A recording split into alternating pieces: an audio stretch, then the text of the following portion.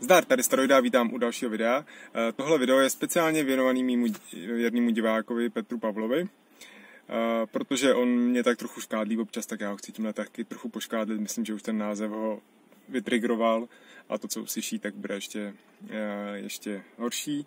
Ale to, to, co je v názvu, tak není vlastně všechno obsahem. Ještě se dostanu k jednomu závěru, který je úplně nakonec. A jelikož to má být překvapení, tak, tak to ani v tom názvu není. Takže dokoukejte až do konce a uvidíte. A jdem na to.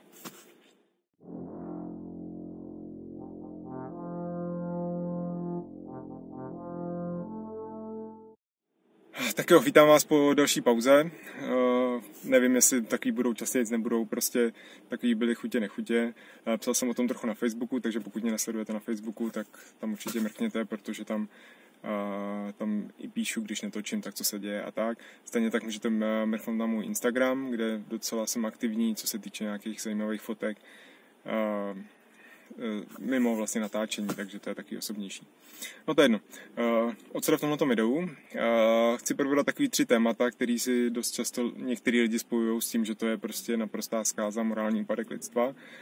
Ten můj pohled je na to trochu jiný, to asi ty mý věrný diváky nepřekvapí někde zajdu trošku do detailu a pak přijdeme k tomu závěru, o kterém jsem mluvil. Tak. Začnu tím eh, LGBT, nebo prostě eh, homosexuálama a, a tak dále. Eh, tohle to není překvapivý téma u mých diváků vlastně ten můj názor, protože už jsem na to točil nějaký videa, dvě konkrétně si myslím. První už je starší, to tehdy, jak řešil ústavní soud, vlastně to, že svěřej eh, to dítě do péče tě, tomu homosexuálnímu páru z Ameriky, tak jsem tam mluvil o tom, jak to podporuji. Teď nedávno jsem točil ohledně manželství homosexuálů, který taky podporuji, takže tam jsem svý názory hodně, hodně projevil to, co vemu to ve stručnosti pro ty, co to třeba neviděli. Uh, velká otázka je, jestli homosexualita, ano, už to tak velká otázka ani není, ale zase nedávno jsem diskutoval s člověkem, který to rozporoval ohledně vrozenosti a nevrozenosti homosexuality. Uh, pak to změním ještě trochu i dál, těch dalších věcí.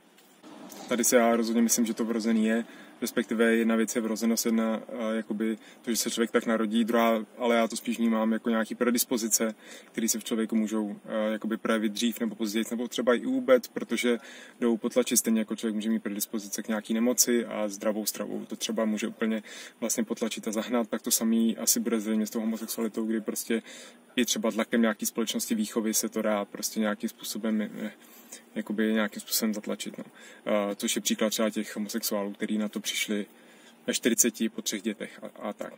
Další ten jeden z těch mých argumentů, který, když jsem to řešil s tím jedním člověkem, to bylo nějaký jiný videa ohledně té přirozenosti a on vlastně argumentoval tím, jak vznikají muži homosexuálové, že prostě je to nějaký vadou v rodině, chybějící role otce, tak já jsem říkal, jak vysvětlíš homosexualitu zvířat. Uh, jo, protože to je prostě, je to v celé přírodě, i s tou naší civilizací je to spojeno dlouhodobě. O tom jsem mluvil teď v tom videu, o tom manželství homosexuálů. K tomu se váže i to, že a, proč mi to nevadí, nebo proč to vlastně nějakým způsobem podporu příjem to přirozený a hlavně si myslím, že e, co se týče jakoby nějaký ty lásky nebo nějakých vztahů a rodiny, tak tam prostě to pohlaví nehraje roli, jo, protože ty city očividně jsou prostě stejný eh, jak pro ty heterosexuály, tak homosexuály a to se týká i výchovy dětí. Jo, takový ten klasický problém o tom, jestli tomu dítěti pak nechodí nějak, nechybí nějaký role, tak prostě si myslím, že nechybí, protože je najdou někde jinde. Stejný problém je i u matek, který žijou sami bez, bez manžela a podobně. Jo. Takže ten, ten, tam spousta argumentů se na tomhle rozloží. Uh, jednu věc, co chci zmínit, ale uh, hodně se řeší i gay pride a takový to, uh, ten, ten pochod a takový to, jak, se, jak to ty homosexuálové, LGBT lidi, jak to jakoby cpou těm normálním lidem. Jo. Já tady chápu jakoby to rozhostření nad tím, nebo ten problém, co s tím ty lidi mají, že to je prostě až moc. Jo, já v tom vidím to vysvětlení takový, že že tyhle ty jakoby průvody té hrdosti tak vznikly, vznikly snad, já nevím jak podrobnosti, ale je to prostě z západu, z Ameriky, kde prostě ten západní, nebo ta Amerika konkrétně je taková patetičtější, hodně tam ty emoce se takhle vyjadřují až jakoby prapně a přehnaně, takový ten patos právě. A tam teď ten způsob toho vyjádření přišel a přišel takhle k nám do prostě takové konzervativní společnosti, kde to zase tak úplně jakoby nepatří. Jo, takže se nedivím eh, lidem, kteří to vadí, mě osobně to zase jakoby nevadí, mě to nějakým způsobem neruší, tak proč bych jako se nad tím měl uh, rozčilovat. Nevím, jestli by se to mělo nějakým způsobem změnit, ale to, to není na mě, abych to jakoby rozhodoval. Takže jo, to je k tomu LGBT. Uh, to je to nejmírnější, takový to, kdo mě zná, tak už to slyšel. Přejdeme na tu druhou věc, čili na gender. A to je to poslední střípek, co mi chyběl k tomuhle videu, protože jsem chytl, chytl jsem rozhovor na Českém rozhlase, kde se i tohle trochu naťuklo, k tomu se ještě dostanu. Velký téma je to právě kvůli tomu, že jsou zase skupiny lidí, který jakoby rozlišují víc těch genderů. A mě osobně tohle taky prostě nevadí, jo. Ať si každý člověk, ať se identifikuje, ať si říká, jak, jak chce, co chce. To je ta nejméně problematická část, na tom možná pak nějaký problém s tím bude. Eh, když jsem se na to připravoval, tak jsem koukal, kolik je teda těch genderů oficiálně a našel jsem seznam nějakých 63. A, uh, možná vám dám link do popisku. Sorry, já mám otevřený, protože tady fakt vedro. Dám link do popisku, kde jsem to vyčet kde vlastně těch 63 je dobře vyspecifikovaný, protože to je, jakoby jsou nějaký čtyři parametry ohledně toho, jak se člověk narodí jako fyziologicky, jak se identifikuje, uh, jaký má jakoby náklonost jakoby k jakým, uh, jakýho chce partnera a to se zkombinuje do takových 60, 63 typů, takže je to vlastně docela dobrý systém. Uh, zároveň ale vnímám jakoby tu směšnou stránku toho jo, a jako nebudu se rozhodně být za to, abych obhajoval právo lidí na to se takhle identifikovat. Je mi to prostě, dá se říct, jedno. Konkrétně, už jsem to mluvil častěji na Redditu, odebírám uh, jedno fórum I'm going to hell for this, kde si dost nemilosrdně dělají z toho pravidelně srandu z toho, jak jsou jenom uh, dva gendery a kdykoliv se objeví ta diskuze. I v tom článku, co jsem vám dal do popisku, tak hned potom jsou komentáře, že prostě dva gendery, případně tři, když se baví o nějakých hermafroditech jako fyziologicky.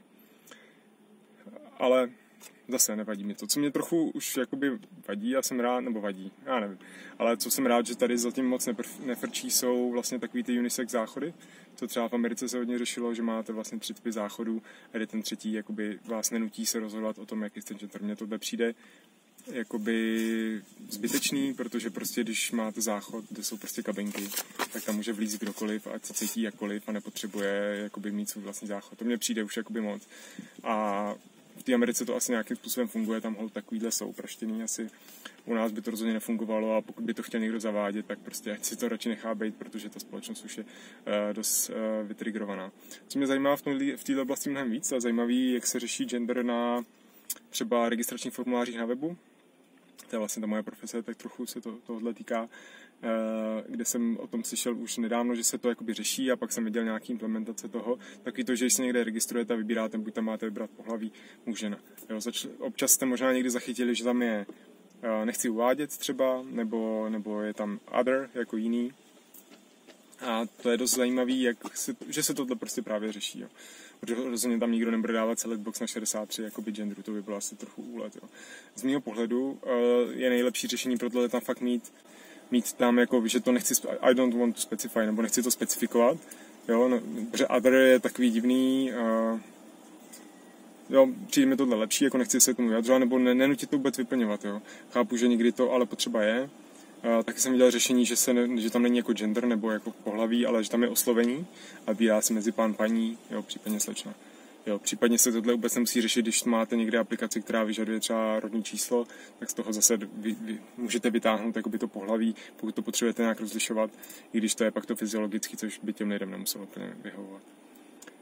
Uh, co tady je trošku problematický, a zase to tak nějak vnímám, je takový to, to právě bylo v tom rozhovoru, to byl ten Marek Benda s, uh, s nějakým tožičkou ze Social Watch a řešili tam právě takový tuhle tu úpadek té dnešní společnosti, eh, kde na jedné straně jakoby byla kritika toho, že ty elity s, s, eh, politický, ale i mimo politický, jak prostě tu společnost tak nějak, nějakým způsobem eh, táhnou ke dnu a naopak vlastně zase Marek Benda ten zase kritizoval nevládky a neomarxisty, prostě za to, že vytahují témata a problematizují věci, které problém vůbec nejsou a, a přisávají se na systém, konkrétně jak se hodně kritizují různé neziskovky, nevládky, které prostě tohle téma řeší tak to, se, to, to viditelně taky je problém. Jo. A bylo by dobré ho řešit a ne prostě se těm lidem vysmívat, kteří to kritizují.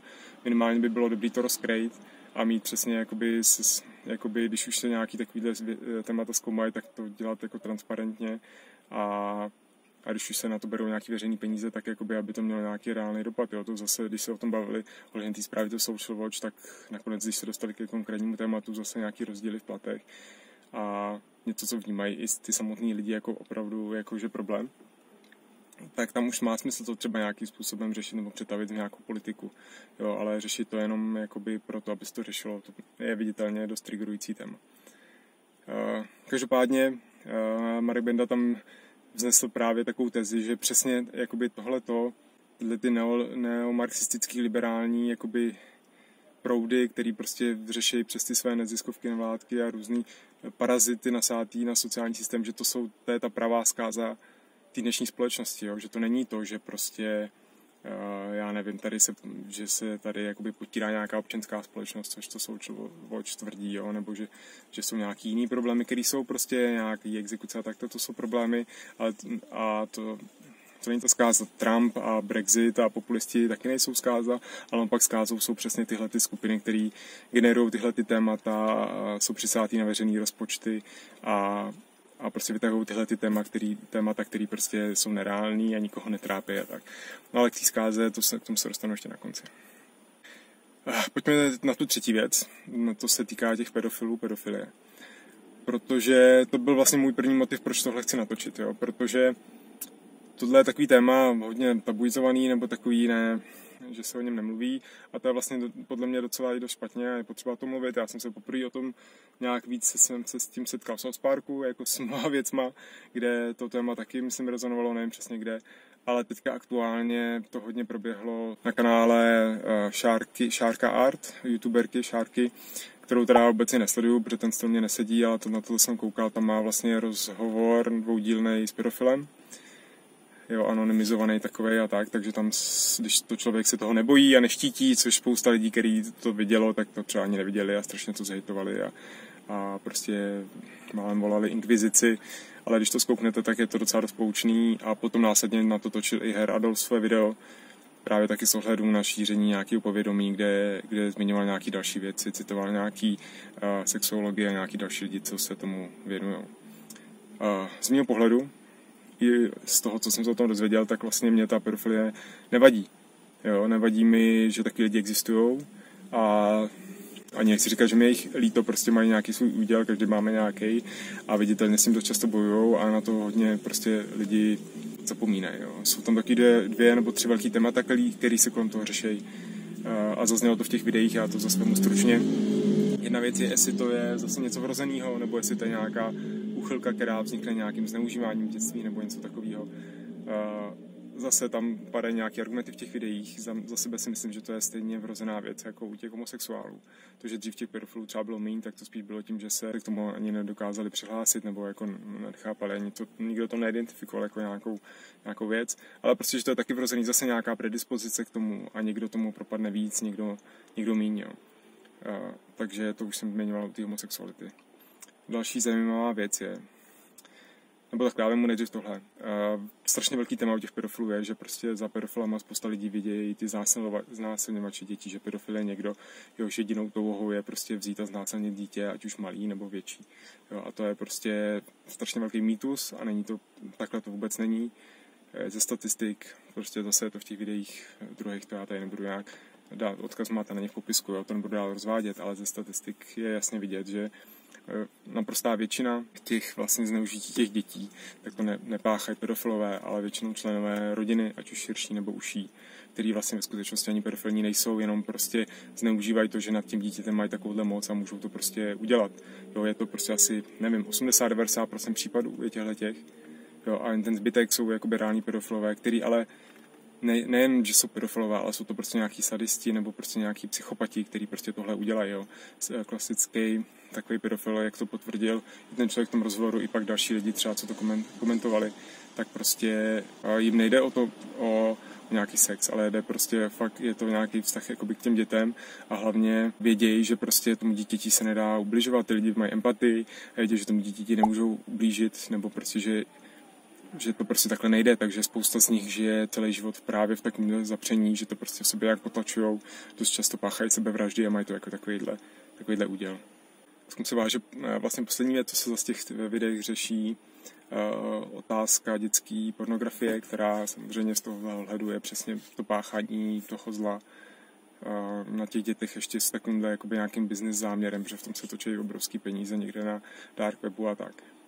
Jo, tak to je prostě samozřejmě velký problém a diskutuje se o tom s ohledem na to, že pro ty pedofily je to často dost jediná možnost, jak jakoby nějak ty svoje touhy nějakým způsobem prostě se vybít nebo kanalizovat nebo nějakým způsobem takhle jako realizovat. A a tím nějakým způsobem to přežívat. Jo? Je velká diskuse o tom, jestli naopak je to navádí k tomu, aby prováděli potom nějaký jakoby, zločiny na těch dětech, anebo naopak, jestli je to, je to vyklidní. A, nebo je zkušenost Dánska, kde se vlastně začalo dětský porno dá nějakým způsobem tolerovat jako držení toho, že se trestala jen výroba, distribuce. A dost zásadně právě potom klesly nějaký uh, klesly vlastně nějaký útoky na děti a tohle. Takže jakoby nějaký vliv takovýhle to má. Pak ten pedofil v tom rozhovoru argumentoval tím, že většina dětského porna už je natočená, ale to je argument hodně mizerný a kdo ví, jestli to není nějaký jeho alibismus. V tomhle trošku já vidím východisko, o tom jsem mluvil tehdy ve videu, kde jsem obecně mluvil o takové pornokultuře. Možná východisko v nějakých jakoby počítačových animacích nebo v nějakých kreslený pornografii, kde prostě tam k žádnému ubližování nedochází. No. Ale to je téma, tohle řešit, jo, to je prostě to řešit až v úrovni toho, když už vůbec se společnost dokáže smířit s tím, že nějaký takovýhle lidi existují, že to jsou lidi jako my a že nepatří upálit, zastřelit, ale že spíš si zaslouží nějakou naší empatii a respekt za to, že dokážou prostě s takovouhle potřebou, která se naprosto neslučuje s, jak, s tím, jak ta společnost funguje, takže s tím dokážou prostě uh, žít. Jo. To, mě nevadí, mnohem víc mě vadí ty lidi, kteří prostě zneužívají ty děti reálně, což nebývají ty pedofilové ve většině případů. A naopak to jsou lidi, kteří prostě ty děti tyranizují i jinýma způsobama, nejenom prostě tímhle tím nejhorším způsobem, ale i jinýma, jo. Tyhle ty lidi já bych odsoudil mnohem dřív, než prostě nějaký pedofila, který prostě je citlivý a ty děti má nějak rád nebo něco, něco víc, jo. Ale třeba stačí, když je v jejich blízkosti a, a je na ně hodný a ty děti prostě ne, jim nehrozí takhle jako žádný nebezpečí. Tak snad mi vydrží baterka, abych eh, zvládnul ten závěr, já to zkusím říct nějak stručně. Já jsem do toho názoru dal to zkázat té společnosti a mluvil jsem o tom hlavně u toho genderu, ale týká se to prostě i toho LGBT, i toho i té pedofilie, o tom, jestli jakoby, nebo někteří lidi to prohlašují, že to je ten úpadek a zkáza společnosti. Já si myslím, že ale ta zkáza a ten úpadek je prostě založený na něčím úplně jiným a je to něco, čemu se říká vlastně infantilní nebo infantilizující se společnost. Eh, to je to, co se v dnešní době děje dost často. Jo. Eh, co to znamená reálně? Nejde o to, že děti, lidi jsou infantilní, jakoby dětský, ale že vlastně ty normy chování v té společnosti projevují takové dětské charakteristiky a jsou prostě obecně sdílený a považovaný za něco, něco normálního. Tenhle pojem jsem poprvé chytil u svého oblíbeného myslitele Stanislava Komárka, ale je to něco, o čem sociologové mluví už dlouho, už od dob eh, Freuda a psychologové, kteří to nějakým způsobem charakterizují. Eh, o co přesně jde, eh, zase trochu popis, než to zastáhnu k těm tématům, o kterých jsem mluvil. Jo. Jde o to, že vlastně ta společnost sama se takhle infantilizuje a je to vlastně k jejímu prospěchu, teda prospěchu v úvozovkách, jo, protože vlastně když ta společnost generuje takhle takovýhle lidi s těma eh, infantilníma jakoby chováním, tak vlastně generuje poslušný občany, ovčany, protože vlastně eh, ta přehnaná péče a eh, zahlcení administrativou, tak generuje prostě lidi, kteří jdou poslušně za tím vedením a vlastně nejsou, jako je to proti nezávislosti a nějaký samostatnosti těch lidí. Jo. Ty lidi jsou prostě udržovaný jakoby přisátý, dá se říct, pomocí, jak malý dítě, který mu dáte prostě nějakou, nějakou novou hračku a to dítě je pak vám takhle vděčný, jo. Je, nebo jako když třeba potrestáte dítě a ono stejně za váma hnedka zase druhý den přijde, protože prostě vy jste ten jeho rodič, na kterém je on vlastně naprosto závislý a, a tím pádem se člověk stává vlastně nesamostatný, jo.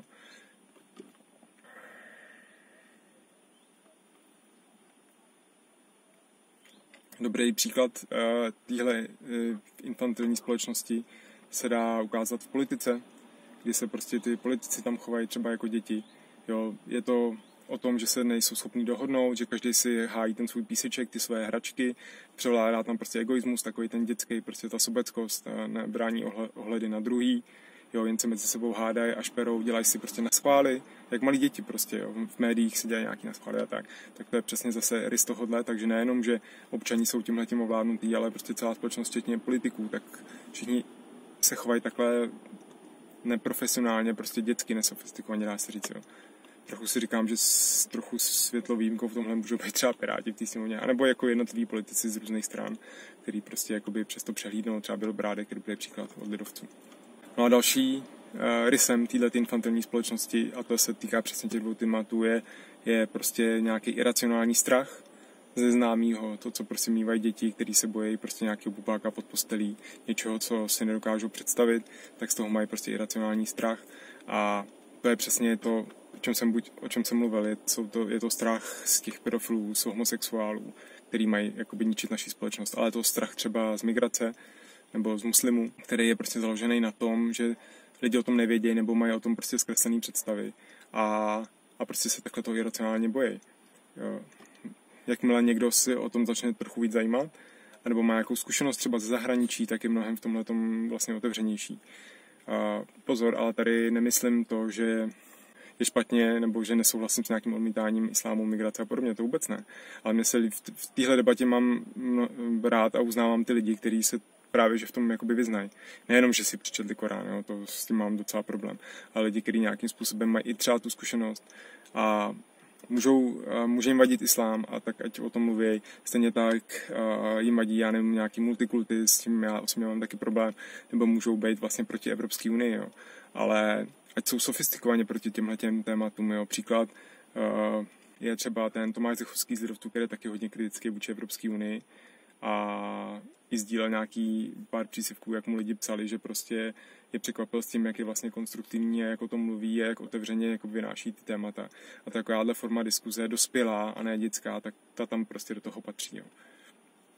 Takže to si myslím, že je ten mnohem větší problém a ta zkáza té dnešní naší společnosti k tomu vede, to, že ta společnost je takhle prostě infantilní a převládá tohleto dětské chování, kdy se lidi nedokážou dohodnout, kdy jsou sobecky egoistický, mají prostě iracionální strachy, jsou nesamostatní, prostě jsou odkázaný na to, eh, co jim dá stát, jsou krmený prostě eh, nějakým spotřebním zbožím nebo jsou krmený prostě nějakým jídlem nezdravým, prostě, na kterým se taky buduje prostě nějaká závislost. A jsou kromený i jakoby televizí, médiema a nějakou prostě jednoduchou zábavou a to jim prostě těm lidem stačí a nepřemýšlí prostě trochu, trochu dál, jo.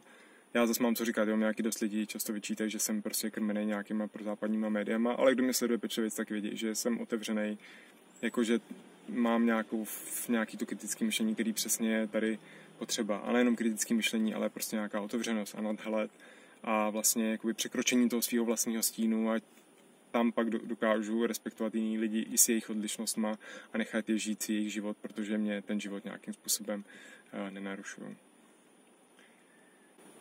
Tak, co říct na úplný závěr? Uh, možná jen taková myšlenka, protože ohledně této infantilizace té společnosti, tak se hnedka nabízí vlastně ta varianta, že to celý někdo řídí prostě nějak konspiračně, že prostě je, přesně jsou vypouštěny tyhle ty věci, jsou ty lidi krmený těma médiema, nebo prostě se, jsou v nich živený ty iracionální strachy, aby takhle tímhle způsobem byly infantilní, ale ono to je mnohem jakoby vlastně zákeřnější, protože ta společnost si to dělá vlastně sama. Jo, tohle prostě vzniká spontánně, vzniká to tím, že žijeme takhle hodně pohromadě, aby jsme to vůbec přežili, aby jsme dokázali žít takhle nahustění na sebe. Já to nemyslím tady v České republice, ale třeba v Americe nebo v Tokiu, kde ty lidi jsou fakt namačkený na sebe a tam je ten projev jsou ještě víc to stádní chování. Jo.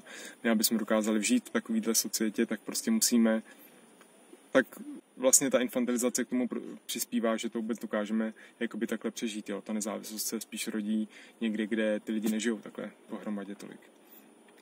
A, a cesta vlastně z této závislosti je právě nějaká ta otevřenost, to kritické myšlení, ale hlavně je to jakoby osobnost každého člověka, jo, aby fakt dokázal překročit ten svůj stín. A tam podle mě tam patří i to nelpění prostě na nějakých dogmatech, které nevycházejí z reality, na popírání prostě přirozenosti a na popírání nějakých iracionálních strachů založených na mýtech a nesmyslech a prostě lžích a a být otevřený i těm argumentům té druhé strany a nakonec si z toho udělat nějaký prostě aspoň klidně odmítavý, ale nějaký dospělejší názor a nejenom prostě dětský, který je tak akorát k smíchu. Uh, to je všechno k tomuhle videu. Pište komentáře, co si o tom myslíte, to bude docela asi výživný. Uh, bylo by dobré, kdyby psali lidi, kteří to aspoň dokoukali do konce. Jo, protože jakmile někdo vidí téma pedofilie a možná uslyší začátek, tak začne hejtovat. A pokud se vám to líbilo, hoďte like, koukněte na ty videa, co jsou v popisku, pokud vás se zajímá víc. A to je všechno. Takže díky za dokoukání a uvidíme se u dalšího videa, který bude kdo ví kdy a kdo ví o čem. Tak čau. Tak jestli se koukáte na tohle outro, tak se mi to podařilo natočit a sestříhat a vydat. a jako v tomhle vedru to je fakt docela masakr zároveň. Do toho byla ta moje pauza a dneska jsem bojoval i vlastně s chutí a nechutí to vůbec točit, i když už jsem měl poznámky hotový. Takže jsem dobrý.